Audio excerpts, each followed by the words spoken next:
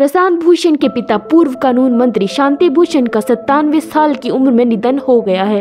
पिछले कुछ दिनों से शांति भूषण काफ़ी बीमार चल रहे थे। उनकी सेहत ठीक नहीं थी। उन्होंने अपने दिल्ली वाले निवास पर आखिरी सांस ली।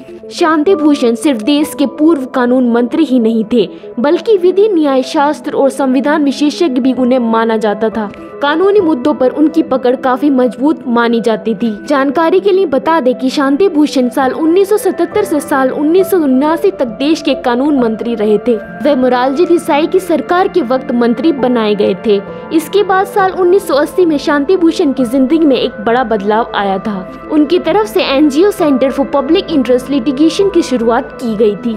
उस एनजीओ के ज़रिए सुप्रीम कोर्ट तक देश से जुड़ी कई याचिकाएँ पहुँची थी। इसके अलावा 2018 में भी शांति भूषण उस समय सुर्खियों में आ गए थे, जब उन्होंने मास्टर ऑफ़ रोस्टर में बदलाव को लेकर सुप्रीम कोर्ट से याचिका दायर की थी।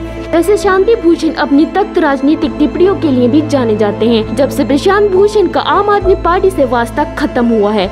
शांति भूषण द्वारा कई मौकों पर मुख्यमंत्री अरविंद केजरीवाल पर निशाना साधा गया। और ज़्यादा अपडेट के लिए जुड़े रहिए हमारे साथ।